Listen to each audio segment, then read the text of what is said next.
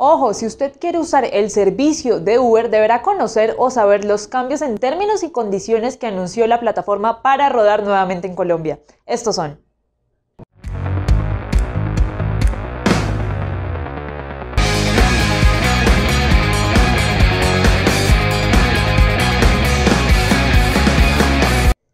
A pesar de que el gobierno, el Ministerio de Transporte o la Superintendencia de Industria y Comercio no conocían estas decisiones o no sabían si Uber iba a regresar o no, la plataforma había anunciado desde esta madrugada a todos sus conductores que las operaciones se retomaban nuevamente en el país.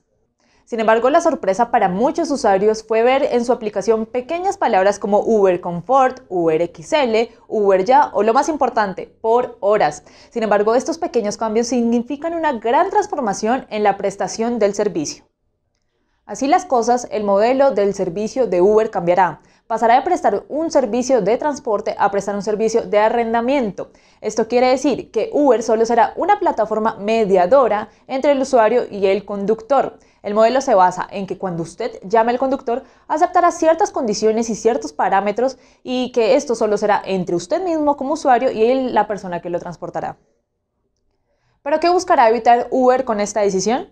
Cabe recordar que la SIC impuso una sanción y obligó a Uber a retirarse del mercado por competencia desleal. Esto al no cumplir con ciertas medidas que hay en el país para prestar un servicio de transporte público individual. Para curarse en salud, el contrato de Uber que estará a disposición del usuario señala textualmente. Usted reconoce y acepta que Uber es un proveedor de servicios de tecnología que no ofrece servicios de transporte, no funciona como transportista ni opera como agente para el transporte de viajeros.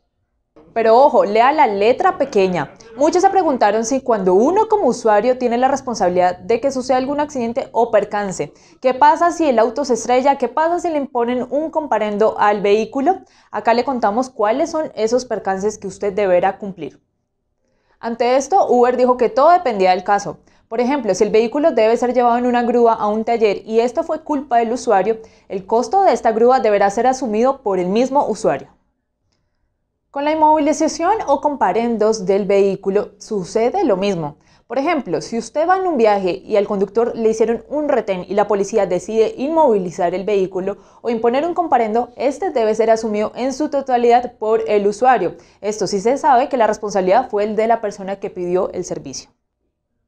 Pero eso sí, tenga en cuenta que si sucede un accidente, sí o sí el vehículo estará respaldado con pólizas de seguro que estarán, eh, como le dije anteriormente, respaldados por Allianz. Con este nuevo modelo de Uber, la plataforma aseguró que buscará prestar un mejor servicio a través de que, esto que coexistan con tecnologías nuevas y antiguas, incluidos los taxis, para que todas las personas aprovechen la tecnología y asimismo se pueda prestar un mejor servicio.